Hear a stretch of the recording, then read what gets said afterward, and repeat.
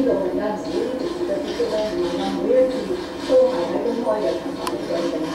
咁所以學生方面咧都俾到我嘅信息咧，可能如果透過第三者做一個中間人，去誒將佢嘅意見反映俾我哋咧，聽到咧。誒就 I'll, I'll, I'll take this as the last Chinese question and then I'll give you the last English question. 誒、就誒呢、個清場嘅誒問題咧， 有線電視。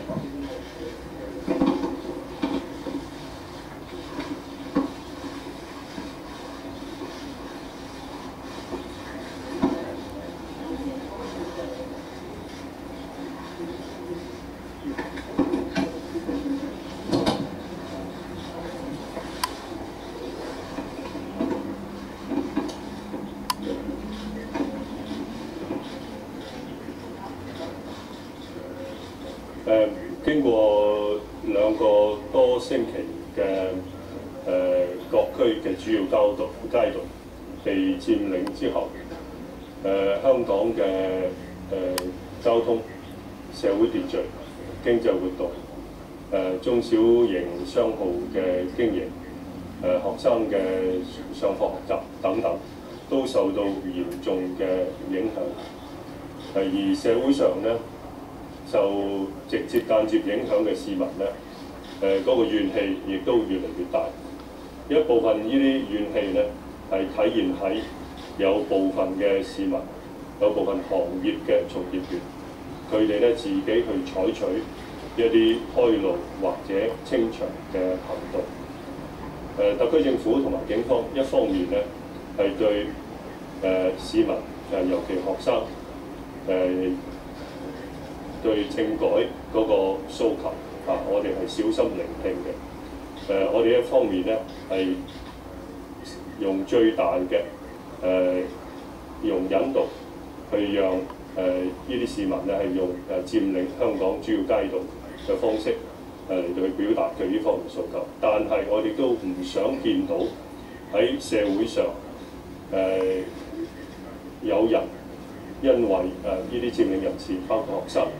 誒佢哋長期佔領街道咧，係同佢哋造成誒、呃、衝突。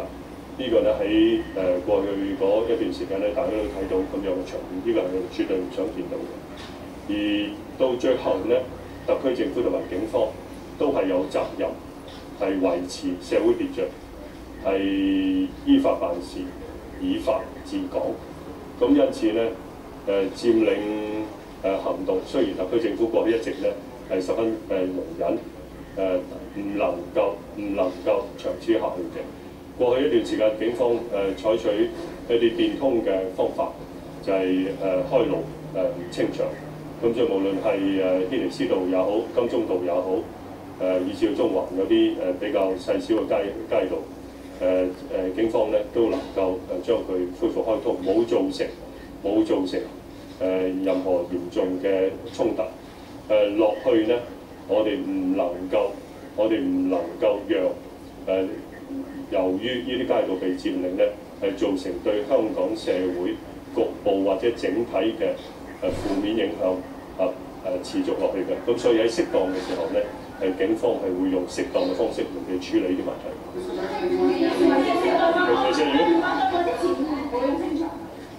誒對話同埋清場咧，係呢個重要㗎嚇。對話同埋清場係兩回事嚟嘅。 我哋唔會因為對話而唔去清場，我哋都唔會因為清場而去對話。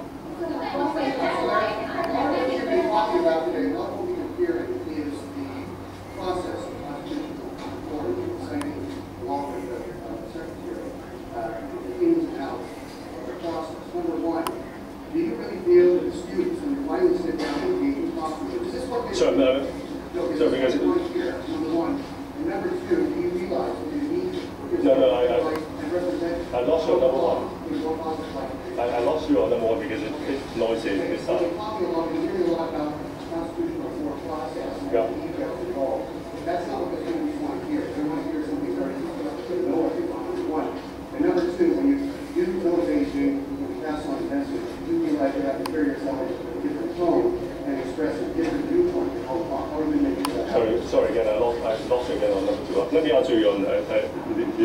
question.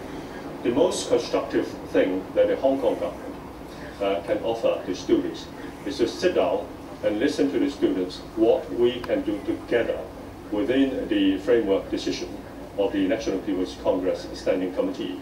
The Hong Kong Special Administrative Region government cannot make something that is not in the basic law possible. Politics is the art of the possible, and we have to draw a line between possibilities and impossibilities. The central authorities, and this is not the Hong Kong SAR government, the central authorities have said clearly that they will not retract the decision of the special, uh, of the standing committee uh, uh, decision uh, on the 31st of uh, August. So that's what they said. And we would like to explore with them what else we can do together so that the 5 million eligible voters in Hong Kong will have the first opportunity in Hong Kong's history to vote in the chief secretary in 2017. And this has never happened before. It's not, I'll say this again, it's not provided for in the Joint Declaration. The Sino-British Joint Declaration does not have the words universal suffrage or direct election of the chief executive. What the uh, Joint Declaration does say is that the chief executive of Hong Kong Special Region will be elected on the basis of consultation or election held locally. That's what it said. But Mr. Wong, you're still, you're still defending the same line though. The people of Kong have made it clear they want to take a different line, uh, to express a different viewpoint to China. You're still defending the whole thing. The views, I'll, I'll ask, I'll, I'll ask my secretary to supplement my answer. The views of the Hong Kong people have been communicated to the National People's Congress very clearly after five months of uh, consultation. We sent to Beijing not just the report of the Hong Kong SAR government, but the um, views expressed in the original forms, uh, in the form of uh, appendices, uh, to, to Beijing. And we, we also uh, organized, and this was the initiative of the Hong Kong SAR government, uh, face-to-face dialogue uh, between various sectors and parties in Hong Kong and leaders of the central authorities who are in charge of this matter. Uh, uh, one example was the meeting uh, in Shanghai, which I personally initiated.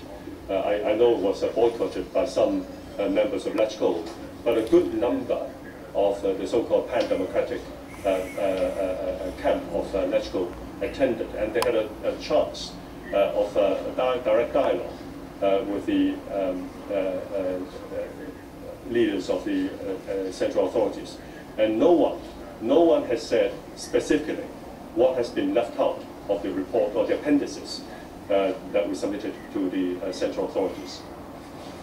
Uh, I just want to supplement that the, um, the prevailing views from the uh, Hong Kong Federation of Students um, is one that they would like to have um, civic nomination to be part of the nomination process um, for the uh, 2017 chief executive election. I think such a view has been discussed inside out in the past 12 or 18 months already in various sectors of the community, uh, including several occasions where uh, various sectors of the community, as well as all um, the uh, various political parties of legislative council, have face-to-face mentioned this point loud and clear to uh, the responsible officers from the central uh, people's government in the past few months as well.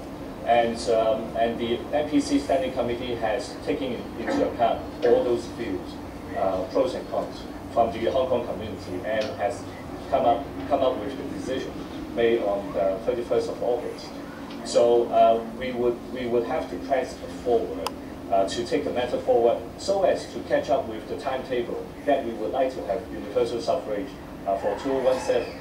If we continue to drag on on something that is impossible uh, in the coming three months, then uh, the, the answer would be quite clear, or the reality is that we will not have universal suffrage for 2017. I don't think that is what the majority of Hong Kong people would like to see. I think the majority of Hong Kong people would like to see one-man one vote for chief executive election in 2017.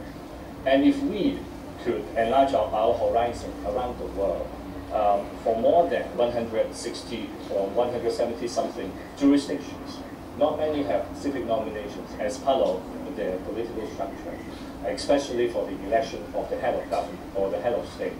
So uh, if we if we uh, insists on such a thing in the, in the uh, electoral system for 2017, I think we are really heading towards the wrong direction.